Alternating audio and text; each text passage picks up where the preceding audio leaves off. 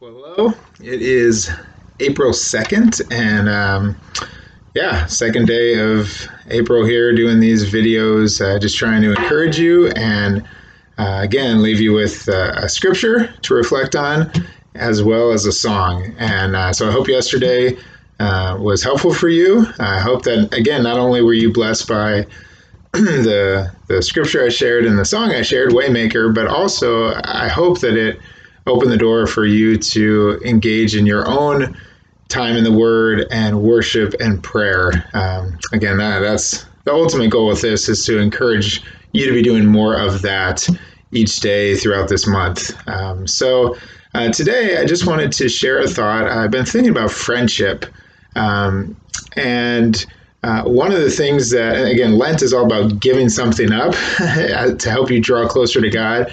Uh, one of the things we've had to give up in this time of this COVID 19 pandemic is friendship. Uh, not in terms of staying connected with friends. We can still do that. We should be doing that by picking up the phone, calling people, reaching out through emails and texts and Facebook and all those things. Um, hopefully, phone, especially hearing people's voices. Uh, but the thing we've been unable to do, um, kind of forced upon us, is we can't gather with our friends. Uh, for those who have family members in your house, you're still able to gather with them, which is a blessing. Uh, but for those who are living on their own, uh, all of those connections, in person connections with friends, have been cut off. Uh, and even for those with family and at the home, I know for many, we're missing those connections with our friends. So, friendship is something I've been thinking a lot about, um, and just how I think we take that for granted. And this is causing us to realize that. I think we'll be so excited to get back with friends when this is all over. Um, so I was thinking about that, and I was thinking about the song, which I'm going to share today, the kind of old old song, "What a Friend We Have in Jesus." Um, I've always liked that song. At the same time, the whole idea of Jesus as my friend has always kind of seemed a little cheesy to me, I guess. Um, I think of Jesus as my Lord and my Savior, uh, these kind of big terms for who Jesus is, for who God is. Uh, and so Jesus as my friend just never seemed to carry all that much power. Um, I'm going to include a song link at the end of this email uh, that for a song that was put out in the early 80s that is super cheesy called Jesus is a Friend of Mine. If you've never seen it before, be prepared for some epic 80s cheesiness but that's kind of how I, I think what I've what's come to mind when I think of Jesus as my friend. Uh, if you're watching this on Facebook just google um, Jesus is my friend by Sonseed S-O-N-S-E-E-D you'll find it trust me and you can watch it. But uh, that's just to bring some humor kind of this funny video to watch. Uh, but again that's what I've thought of. Um, but then it's pretty amazing for a scripture today. Um, John 15 15.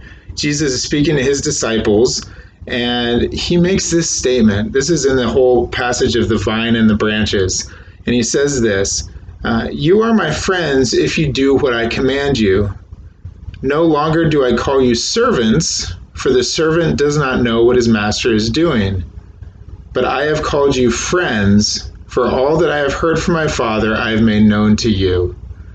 It marks this really significant shift. Again, John 15, 14, and 15. John chapter 15, verses 14 and 15. Uh, I now call you friends. Um, again, isn't some cheesy thing there. It's this really important shift Jesus makes from uh, his disciples, you know, him, he has their rabbi and them as his disciples being servants. Uh, again, a servant doesn't know what his master is doing. Jesus says, he has come to make God the Father known to people. They now aren't just some lowly servants, they're now counted as friends of Jesus because they know through him what the Father is up to, what the Father is doing. So it's this really key shift, and um, I think makes this whole idea of Jesus as our friend uh, gives it greater power and greater, greater meaning. Uh, again, a friend is someone you can go to at any time and, and lean on and I think we're really seeing that now, how much we miss those uh, in person friendships and those connections. And so I think this is a great time to think of Jesus as our friend when we're maybe feeling really isolated, we're really feeling the void of friendships in our lives, maybe, uh, to say, you know what? Jesus is that friend that I can go to anytime. He's like that. Maybe you've heard of a 3 a.m. friend, uh, someone you can call at 3 a.m. about anything. Jesus is that, right? You can call, you can reach out to him anytime. If you wake up in the middle of the night, talk to him. Um, he is that friend for us who will never, who's never too busy to talk, who's never, uh, you know, has too much going on. He's always accessible. He always wants us to go to him. So, so actually, Jesus as our friend is a pretty deep, profound uh, theological statement, and I think it's one that's good for us to remember, especially at this time. Like I say, when we're missing friendship so much, reach out to Jesus, draw near to Jesus. Uh, what a friend we have in Jesus. So I'm going to sing this now. Uh, again, I'll post the lyrics in the email.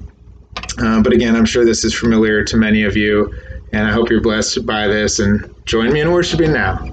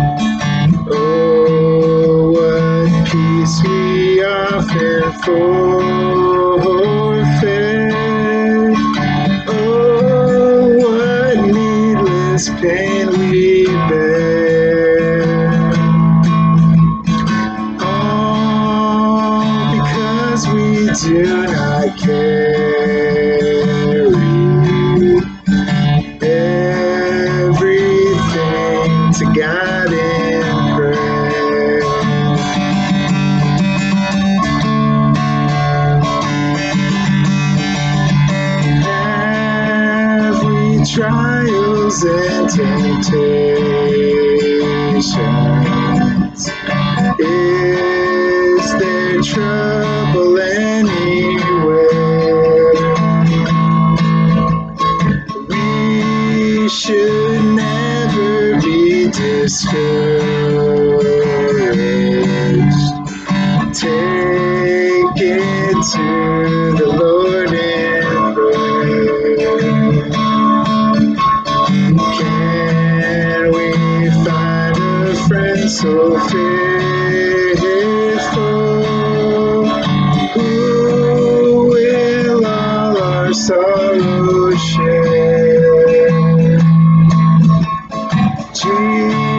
Jesus knows our every need.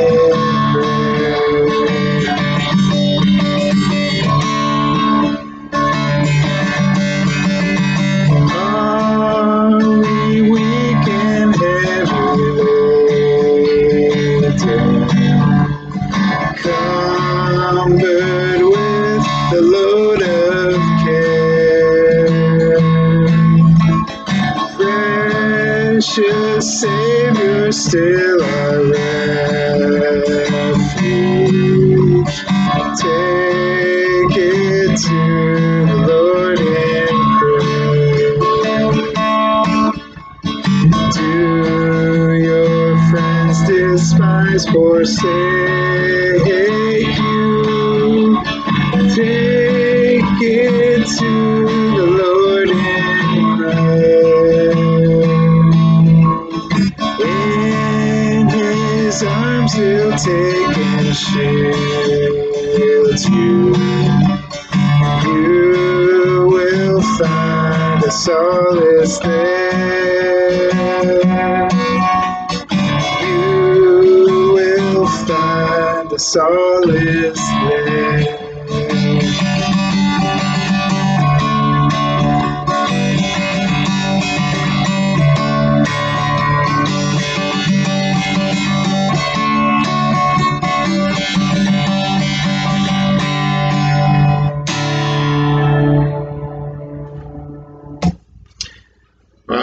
Encouraged by that song, um, I'd encourage you to go and read the lyrics. Uh, they're really actually appropriate and powerful for this time in which we're living right now, for this season in which we find ourselves.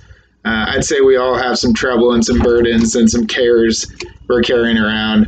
Take them to Jesus, take them to the Lord in prayer. May this song encourage you uh, to be people of prayer and to be going to Jesus more, who is our dearest friend. So, God bless you. See you tomorrow.